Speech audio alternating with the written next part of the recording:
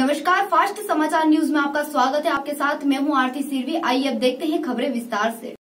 जिला अस्पताल गुना के कैदी वार्ड में एक 302 के मुजरिम के फरार होने की सूचना आ रही है। प्राप्त जानकारी के अनुसार इलाज के लिए जेल से कैदी को अस्पताल लाया गया था, जहाँ से वह फरार हो गया। फरार कैदी का नाम दीपक भदौरिया बताया जा रहा है, जो कि म्याना का रहने वाला है।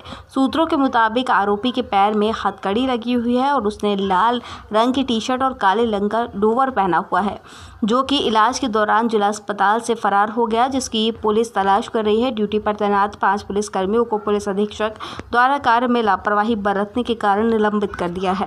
पुलिस उसकी सर्चिंग करवा रही है और अलग से मुकदमा पंजीबद्ध किया जा रहा है।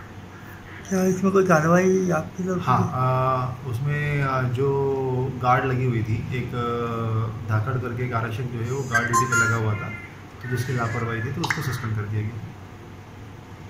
इसमें इनाम भी रखा है अभी तक नहीं। अभी हमारे पास कुछ फुटेजेस वगैरह आए हुए हैं, उसी के आधार पर हमारी टीमें जो है सर्च कर रही है।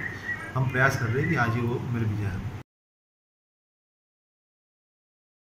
फास्ट समाचार के लिए गुना से सचिन रघुवंशी की रिपोर्ट।